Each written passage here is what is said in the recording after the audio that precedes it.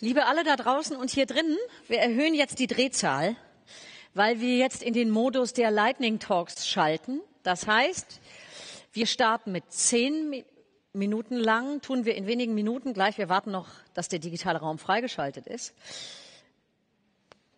Ach so, Jetzt, aber nee, machen wir gleich. Wir starten also. Lightning Talks, wir sind auf dem Weg in die Einflugschneise dorthin. Die werden im Laufe des Nachmittags jetzt nur noch fünf Minuten haben. Aber wir starten jetzt mit zehnminütigen Vorträgen, immer jetzt im ersten Slot, zwei an der Zahl. Und danach haben wir gemeinsam für beide Sprechenden äh, zehn Minuten Zeit für eure Fragen. Ich mache das jetzt immer so, damit wir die Zeit einhalten, weil wir ja jetzt verkürzen. Ich sage eine Minute vor Schluss. Und das betrifft gleich unseren ersten äh, Keynote-Speaker. Äh, ihr habt noch eine Minute. Und danach Time's up. Und dann geben wir das Mikrofon weiter. Worum geht es jetzt? Campus und Coachings auf in die digitale Transformation. Ich habe es vorhin schon erwähnt, seit 2018 entsteht am Heilbronner Bildungscampus ein Standort der TU München und so heißt er denn auch TUM, TUM, Campus Heilbronn, gleichzeitig einer der Projektpartner des KI-Campuses äh, Hub Baden-Württemberg.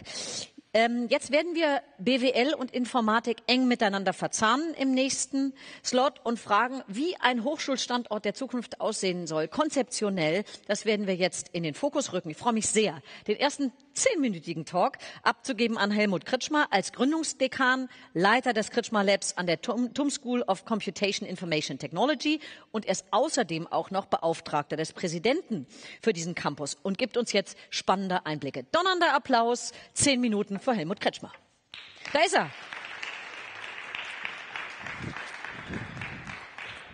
Ja, ganz herzlichen Dank. Es ist wunderbar zu berichten, wie ein Campus for the Digital Age aussehen könnte, was man da vielleicht berücksichtigen kann. Mein Name ist Helmut Kretschmer, eben schon eingeführt.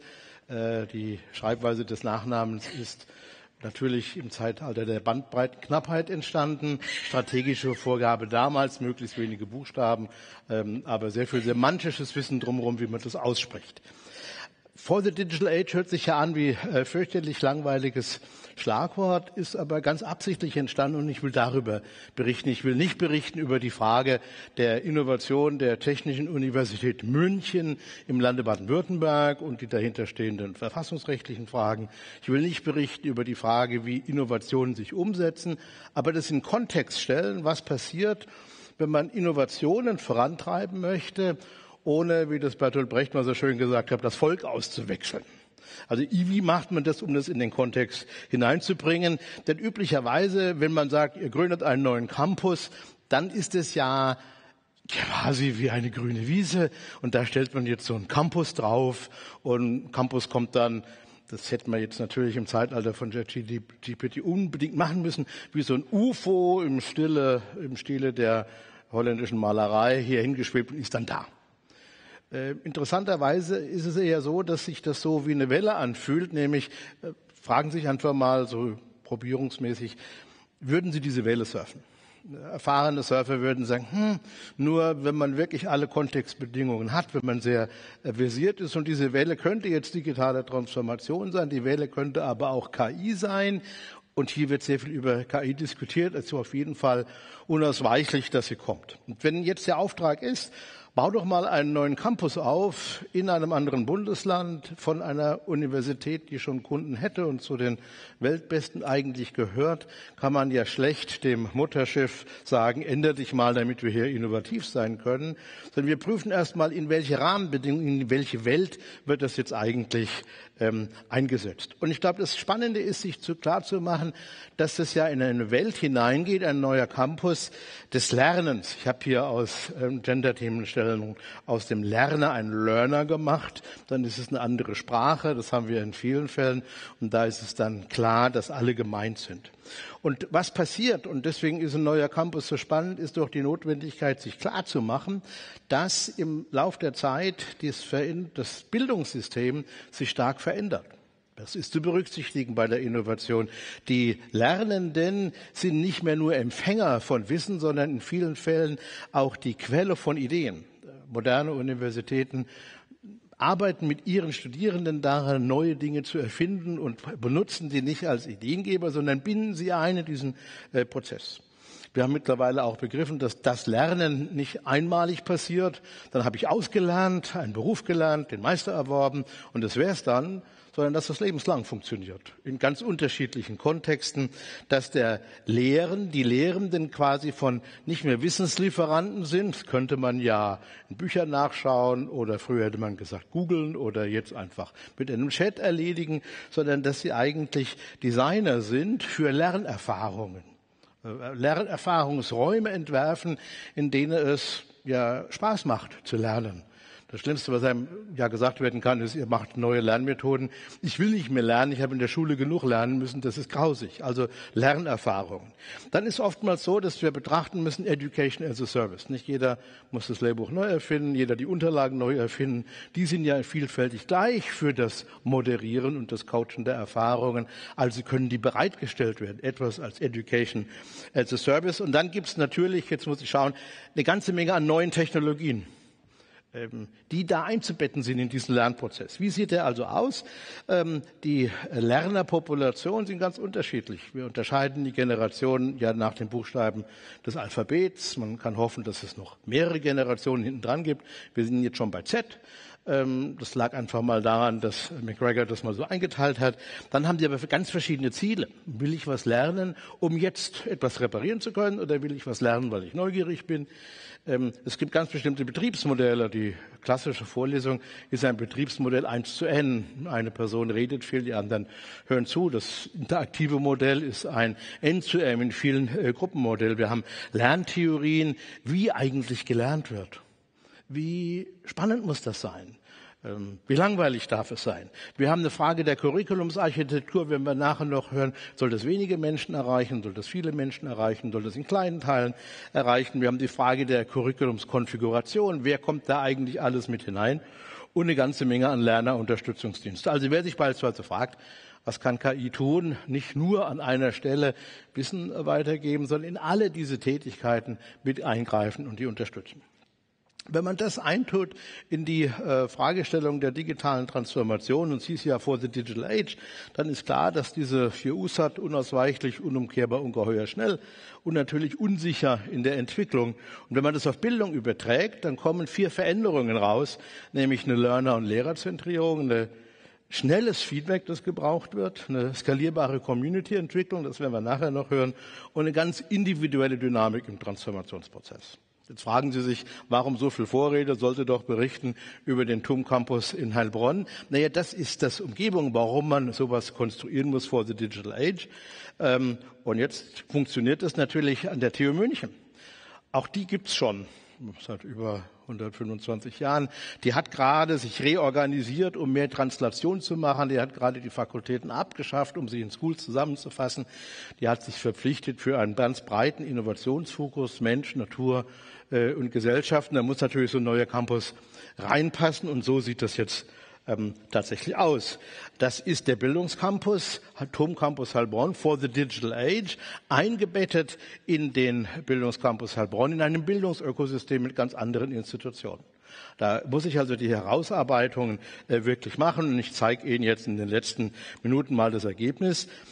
Ähm, for the Digital Age heißt für uns, dass Management und digitale Technologien miteinander verbunden werden, nicht nur übereinander sprechen, sondern wirklich sich miteinander verschränken. Klar, in dieser Region gibt es herausragend viele Weltmarktführer, an jeder Autobahnausfahrt mindestens einen. Und dann geht es auch immer um das Frage der intergenerativen Nachhaltigkeit, vulgo Nachfolgeprobleme. Wer nimmt es denn jetzt drüber? Wenn man sich es genau überlegt, dann entwerfen Führungskräfte und Manager Organisationen und Prozesse, die fallen nicht vom Himmel. Informatikerinnen entwerfen Prozesse, bauen Systeme und gestalten an der Stelle, also alle gestalten etwas und wenn Design Mindset eins ist, äh, dann ist es eine gewisse Demut vor dem Problem, das man lösen muss. Es wird nämlich garantiert auch mal schiefgehen. Und dann schließlich eine ganz internationale ähm, Vernetzung. Sie sehen unten so ein paar Logos von Universitäten, mit denen wir jetzt schon international äh, versetzt sind. Das geht über von Oxford über die HEC in Paris, über die Hebrew University in Jerusalem, der ETH Zürich jetzt äh, bis nach Stanford. Äh, mit denen wir austauschen, was wir in diesen Themen eigentlich machen können und wo wir gemeinsam uns verbünden, die großen Probleme äh, dieser Welt äh, zu lösen. In der Summe 32 Professuren.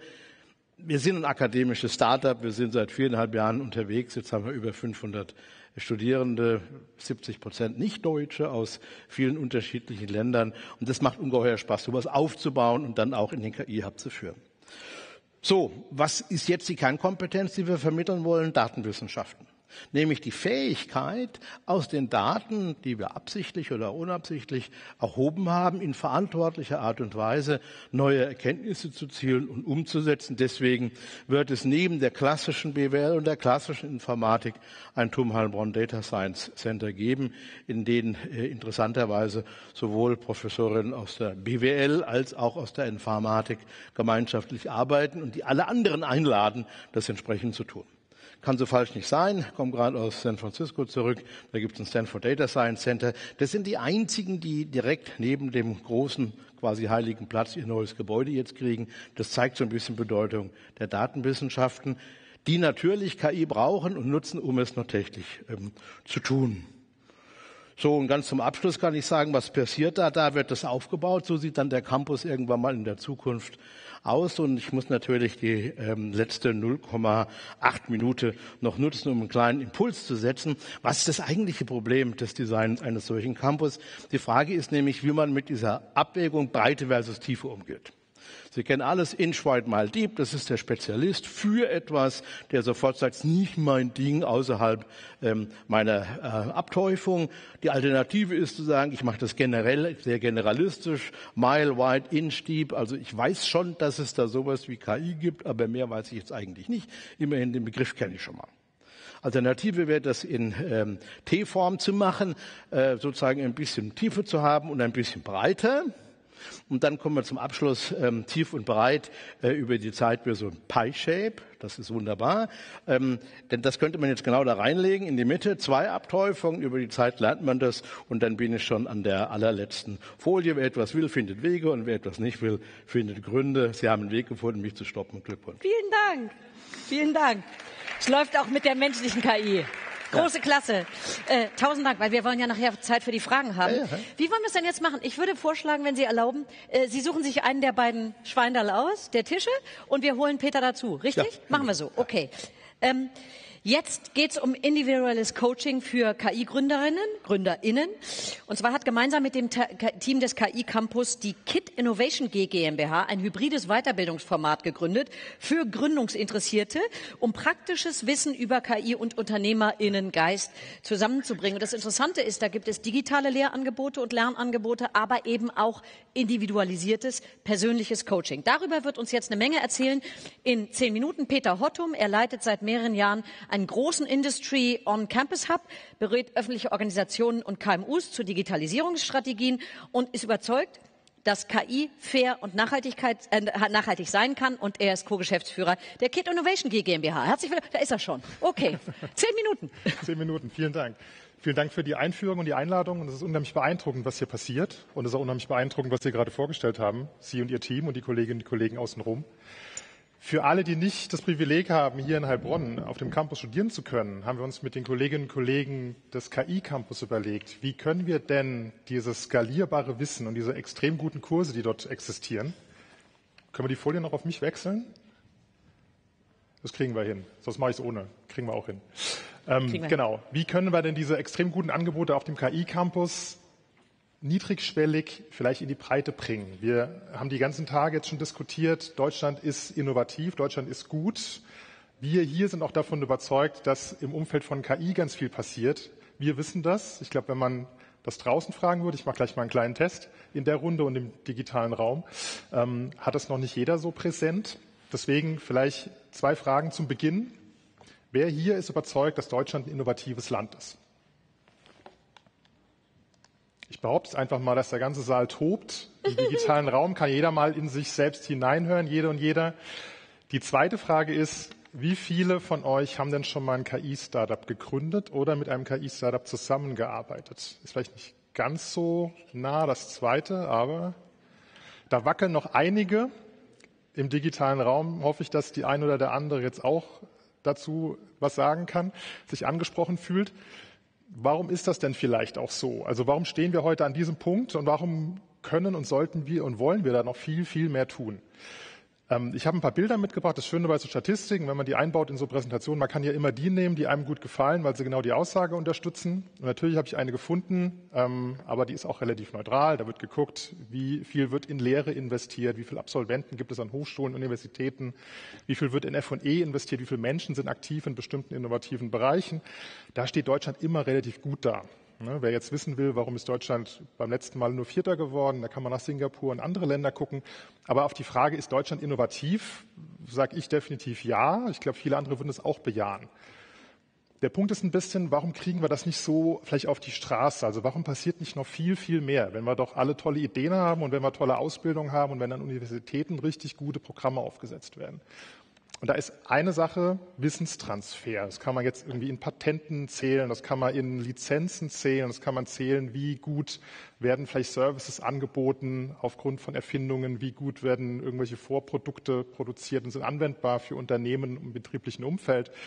Da ist Deutschland nicht ganz so gut. Die Zahlen sind jetzt eher von vorgestern und die Tendenz stimmt heute auch immer noch. Ähm, also das heißt, da ist Deutschland nicht ganz so gut wie bei der Innovationskraft an sich. Und auch generell geschaut in der ganzen Welt die EU ist eigentlich gut aufgestellt, was das angeht. Und da ist Deutschland eben momentan eher so in der zweiten Hälfte, was Wissenstransfer angeht. Das heißt, das Problem ist wahrscheinlich nicht, die guten Ideen zu haben, sondern denjenigen, die es umsetzen können und wollen und sollen, ein Stück weit die Unterstützung zu geben. Und das vielleicht sogar nicht nur auf einem hohen akademischen Niveau, sondern teilweise wirklich niedrigschwellig und in der Breite. Vielleicht noch eine Sache, die bei uns anders ist wie in vielen anderen Ländern. Uns geht es unheimlich gut. Im Durchschnitt, und das ist ein Bild, wenn man unten die Achse sieht, das ist im Prinzip das durchschnittliche Pro-Kopf-Einkommen. Da ist Deutschland relativ weit auf der Seite. Ähm, die andere Achse ist ein bisschen spannender, und zwar hat die sich angeschaut, prozentual, wie viele Personen in frühphasigen Unternehmensgründungen, Aktivitäten eingebunden sind. Das heißt, kleine Ausgründungen, kleines Familienbusiness, Ein-Personengesellschaften, Straßenhändler, bunte Mischung. Also wer hat irgendeinen unternehmerischen Anteil in seiner Tätigkeit? Wer hat dieses Mindset, ob freiwillig oder aus einer ökonomischen Situation heraus, äh, unabhängig davon? Ähm, da ist Deutschland relativ weit unten. Also es ist natürlich aus mehreren Gründen dann auch eine bewusste Entscheidung zu sagen, ich gehe vielleicht nach einem Studium nicht zu einem Unternehmenspartner, den ich schon kenne, aus meinen ganzen tollen Seminaren und Praxisangeboten, sondern ich traue mich mit der Idee, vielleicht wirklich was aufzubauen und danach kann ich ja immer noch zu dem Partner gehen oder ich verdiene eben richtig Geld mit meiner tollen Idee. Also es sind dann einfach andere Beweggründe, die Notwendigkeit ist vielleicht eine andere, vielleicht ist das Hemmnis auch ein anderes.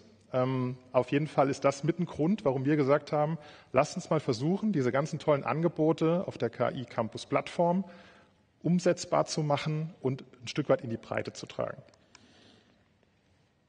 Übertragen wir das mal auf KI. Also was ich gerade eben gesagt habe, wenn man es mal für KI anschaut, und da jetzt mal, um es vergleichen zu können, habe ich was gefunden, wo das mal umgerechnet wurde, immer auf eine Million Einwohner. Das heißt, man, kann dann, man kriegt dann eher so ein Gefühl dafür.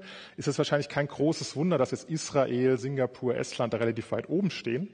Ähm, auch da ist Deutschland relativ gut vertreten, immerhin fünf pro einer Million Einwohner in dem untersuchten Zeitraum an Startups. Also man kann es dann im Verhältnis zu den anderen sehen. USA ist auch nicht viel weiter oben. Wahrscheinlich hätten sie Kalifornien alleine genommen, hätte es ein bisschen anders ausgesehen sieht eigentlich gar nicht so schlecht aus. Ich meine, der Kuchen ist groß. Ähm, es gibt Schätzungen, dass im Jahr 2030 15 Billionen US-Dollar umgesetzt werden weltweit, entweder direkt folgend aufgrund von KI-Technologien oder unmittelbar daraus abgeleitet, unterstützt davon.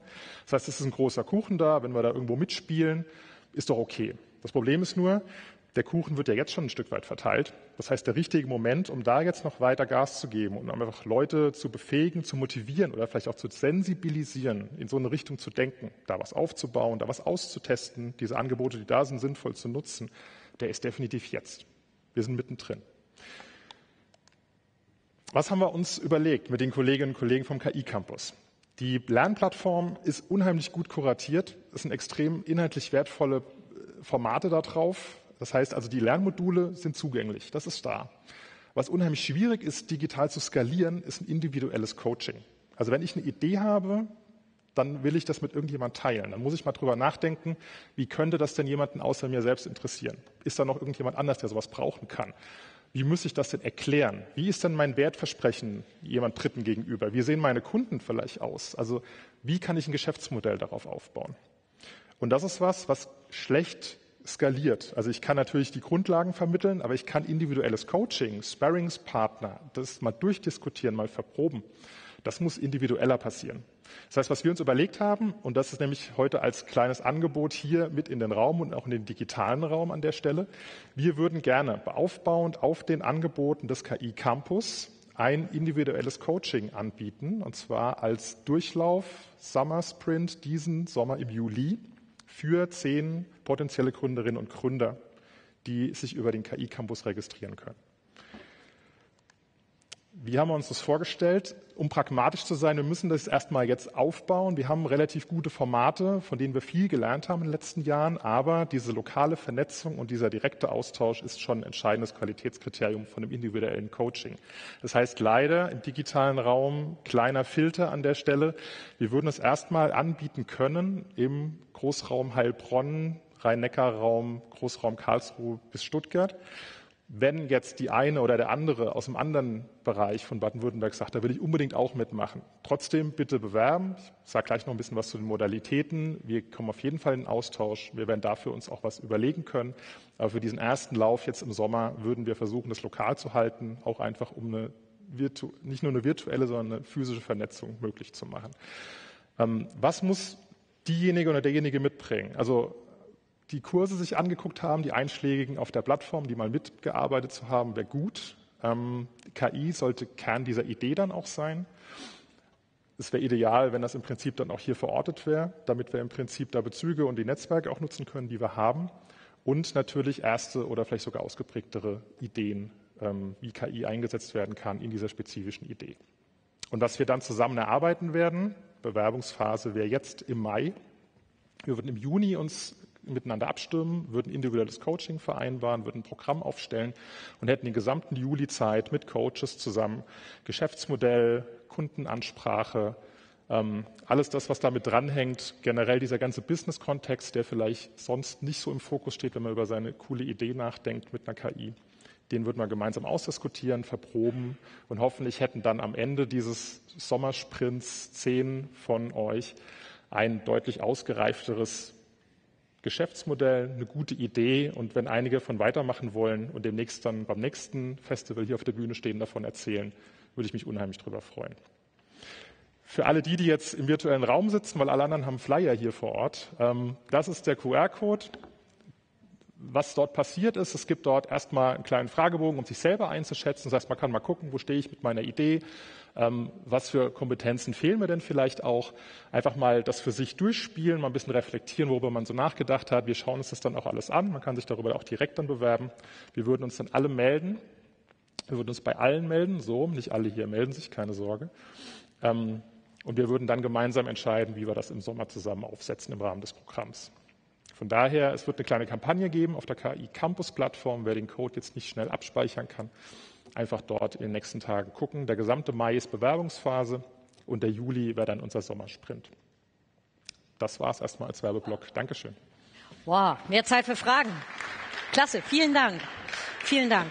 Ähm, darf ich ganz kurz nochmal nur rückfragen, damit ich es richtig verstanden habe? Dieses Coaching ist dann kostenlos. Für die, die identifiziert werden, ist es for granted. Genau, ist ein Geschenk. Ist ein Geschenk, okay. Ja. Geschenk, aber kein Brain Drain. Finde ich schon interessant, zu sagen, wir investieren in euch, aber äh, sorgt dafür, dass es dann auch hier bleibt. bleibt hier. Also Region genau. stärken. Genau. Okay, okay. Wir haben zwei digitale Fragen, die richten sich bewusst an Herrn Kretschmer, aber wenn äh, äh, Sie was dazu sagen wollen, herzlich willkommen auch. Also, muss ich wieder die Brille aufsetzen. Wie schätzen Sie angesichts der immer größeren Vielfalt von digitalen Tools und KI-Anwendungen sowie vorhandenem Wissen die Rolle der metakognitiven Kompetenzen von Lernenden ein und wie können diese gezielt in der Lehre gefördert werden? Warum lächeln Sie jetzt? Ich habe eine Folie rausgeworfen, nämlich die zu den Metakompetenzen. Warum äh, haben Sie die rausgeworfen? Naja, man kann ja nicht immer alles sagen. Also man muss ja auf die Fragen hoffen. Danke für die Frage. Also Metakompetenzen ist äh, sowas wie äh, neugierig sein, äh, wie ausprobieren können, also die Angewohnheit zu haben, äh, tatsächlich sich Problemen zu widmen, aber auch empathisch zu sein, was einen mhm. vielleicht von manchen KI-Lösungen unterscheidet. Das ist eigentlich das künftige Lernziel, weil das pure Wissen, wenn man das überhaupt so rausnehmen kann, ähm, das lässt sich vielleicht vermitteln und nachlesen im kognitiven Bereich, aber das Üben, das sich etwas zutrauen, also diese Selbstwirksamkeitsvermutung in der Problemlösung zu entwickeln, das bedarf der Erfahrung. Und dazu mhm. gehört es dann auch immer wieder die Frage, wie kann man ähm, den, das Neugierigsein, ich nehme das mal als eine Metakompetenz raus fördern, und deswegen fangen Universitäten an, wir auch, unsere Studierenden nicht als Entgegennehmer von Wissen zu betrachten, sondern als Quelle von Inspiration äh, und begleiten dann diesen Prozess des Neugierigsein. Könnten wir das nicht anders machen? Könnten wir das nicht besser machen? Muss das unbedingt so sein? Und ähm, deswegen ist das dann mehr Lerncoaching und ein Voranbringen. Und das ist eine ganz andere Atmosphäre. Deswegen brauche ich dann auch noch Universitäten, wo die Leute aufeinander hängen, weil mhm. sich dann gegenseitig inspirieren können. Aber das ist dann, da geht man nicht hin, um was auswendig zu lernen, was man nachher abfragen kann. Hast du das jetzt gelernt? Sondern vermittelt Erfahrungen, die vielleicht zeigen, wie sehr es sich lohnt, mit äh, Menschen, die etwas andere Auffassungen haben, zu diskutieren, mit anderen Fächern zu reden. Das wären dann Metakompetenzen. Okay. Darf ich dann die Frage wirklich nochmal in Richtung Coaching adressieren? Bei, ich, ich coache nicht Menschen richtig, sondern ich trainiere sie nur in Moderationsskills. Mhm. Aber eines der größten Themen ist das Thema Selbstwert. Da mhm. vorne zu stehen, also was bin ich, was kann ich und so weiter. Inwiefern sind solche auch psychologischen Faktoren Teil dieses Coachings jenseits von anderen Hard Skills, die es auch dafür braucht, um da draußen zu überleben? Also es wird unheimlich herausfordernd für uns werden, ganz offen gesprochen, weil wir nicht wissen, wer kommt da alles. Also wir glauben, es ist unheimlich interdisziplinär. Es ist jetzt nicht so, dass wir sagen, es kommen jetzt immer fertige Teams und da ist immer einer dabei, der kann gut mit Zahlen, da ist immer jemand dabei, der programmiert und einer ist dabei, der verkauft. Ja, das ja. wird so nicht kommen. Ja. Gibt es andere Programme, die, das ist die Grundlage für, da weiß man ungefähr, worauf man sich einlässt. Wir wissen es offen gesagt nicht. Ich gucke jetzt auch ein bisschen zu den Kolleginnen und Kollegen von der, Camp von der Campus-Plattform. Da werden wir mhm. noch viel Spaß auch miteinander haben, glaube ich, weil wir werden schon recht viel diskutieren auch. Finden wir die richtigen Coaches, die die Leute dann im Prinzip motivieren, dieses, äh, diese Kompetenz entweder zu, äh, anzufeuern, weil sie schon da ist, ja. oder mit ihnen auszudiskutieren, wo sollten sie sich vielleicht verstärken und was brauchen sie im Prinzip noch, weil am Ende gewinnt wahrscheinlich eher das Team. Ne? Aber es ist interessant, weil da ist wieder die Agilität, die wir die ganze Zeit beschwören. Ihr wisst es nicht alles, mhm. es ist noch nicht alles gesteckt, sondern we go with the flow. Wir gucken, was reinkommt und dann gucken wir, dass wir das Beste draus machen. Ja. Okay. Ja? Selbstwirksamkeitsvermutung hat mal ein irgendein Bundestrainer, ich glaube für Hockey gesagt, äh, im Training und Umsetzung. Ich glaube, es ist ganz wichtig, dass Universitäten ja auch Räume sind, wo man diese Selbstwirksamkeitsvermutung, also Eigenbild, mal tatsächlich umsetzen kann und dann Menschen da sind, die sagen können, hm, das war schon sehr gut, da mhm. geht noch was, äh, da stimmt's und da ist aber noch jemand, an den man sich wenden könnte. Das ist eine ganz andere Aufgabe, die Universitäten in ihrer Ausbildungsform dann haben, bis hin zu der Aufgabe zu sagen, so und jetzt bringen wir das als Translation in die Gesellschaft hinein, ähm, denn da wird es mit offenen Händen vielleicht genommen, viel besser noch für die Gründer, wenn sie das merken, dass das so mhm. ist. Mhm. Ich habe noch eine weitere Frage aus dem Netz. Wie können Hochschulen ihre Lehrenden auf ihre Lehrenden mhm. auf, die, auf die digitale Transformation vorbereiten und unterstützen? Das ist eine große Herausforderung, denn viele der Lehrenden äh, sind ja nicht in der Generation Z zu Hause. Äh, und allein das, was ich glaube auf der einen Zeile mal hatte, sich umzuwandeln vom Wissensweitergeber zum Lerncoach, ist schon eine innere Umstellung. Das ist eine ganz andere Disziplin. Die fängt mit Zuhören an. Das andere fängt vielleicht mit Lesen an. Äh, Sind Sie ein Role Model?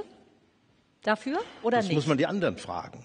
Nee, empfinden Sie sich selbst als ja, Role Model? Oder als andersrum gesagt, wo glauben Sie, dass Sie ein Role Model sind und wo vielleicht auch nicht, für genau die Generation, die Sie jetzt gerade ausbilden wollen? Also für das eine Thema, das wir hatten, Education as a Service, also gemeinschaftliches Bereitstellen von Lernmaterialien sind wir seit 20 Jahren Role Model, weil wir das seit 20 Jahren für über 1500 Dozenten weltweit machen und das sich auch tatsächlich weiterentwickelt und dann erreicht man über dieses Modell in der Skalierung zwischen 40 und 80.000 Studenten pro Semester. Mhm. Ähm, und das ist etwas, was sich entwickelt über die Zeit. Ich glaube, das muss man immer wieder weiterbringen, sich klarzumachen, dass genau da die Wissensweitergabe anders funktionieren kann als diese Selbstwirklichkeitsvermutungsstärkung mhm. im deutschen mhm. Wortungetüm. Mhm. Peter Hottum, äh, wäre es auch denkbar, dem Coaching-Angebot äh, ein Mentoring-Angebot an die Seite zu stellen im Sinne des Peer-Learnings? Also in dem Moment, wo wir mindestens zwei Personen haben mit ähnlichen Themen, haben wir eine Synergie. Und dann macht es auch Sinn, im Prinzip das zu verknüpfen. Ähm, haben wir frühzeitig schon angedacht. Das würden wir uns auch wünschen, dass es da ein paar Synergienüberschneidungen gibt jetzt über den Sommer. Mhm. Müssen wir aber ganz ehrlich gesagt schauen. Wir können jetzt erstmal nur versprechen, dass wir diesen einen Monat haben. Der wird recht intensiv. Ähm, das wird auch nicht ganz easy.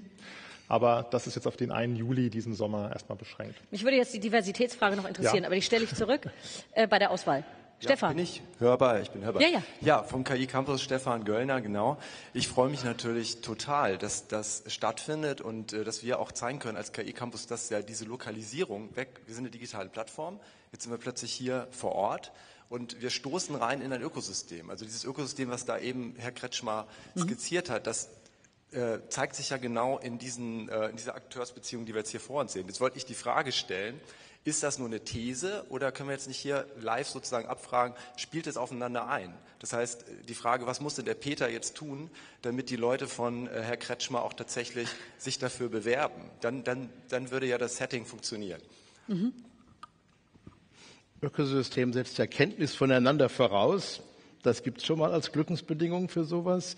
Ökosystem setzt auch Respekt voraus, nämlich vor dem Beitrag der anderen in dieses Ökosystem hinein. Mhm. Und Ökosystem setzt auch voraus, dass man weiß, was man jetzt nicht gut tut. Ich freue mich, wenn äh, Studierende und mögliche Gründer da sind und sagen, hm, ich brauche ein paar Fragen, sagen, guck mal, da ist eine tolle Geschichte geht mal dahin, schaut mal, denn wenn ihr ganz viele werdet, dann haben die viele Peer-to-Peer-Situationen ähm, und können sozusagen dieses Mentoring-Verfahren auch weiternehmen, dass man sich nämlich gegenseitig hilft oder gegenseitig zumindest die Fragen vorstellt. Und ich glaube, das ähm, ist die Notwendigkeit in diesem Ökosystem immer wieder neue Angebote zu holen mhm. und dann klar zu machen, dass es dennoch zugeschnitten werden muss auf das, was diese Person in ihrem Kontext mit ihrer Technikfähigkeit für diese Problemlösung hat.